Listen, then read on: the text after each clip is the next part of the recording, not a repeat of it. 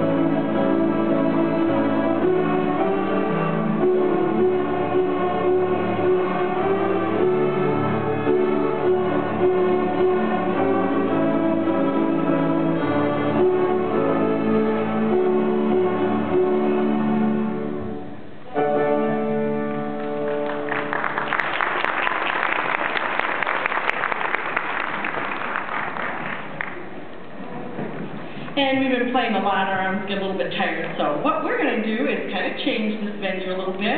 And Angela and I are going to play a song for you.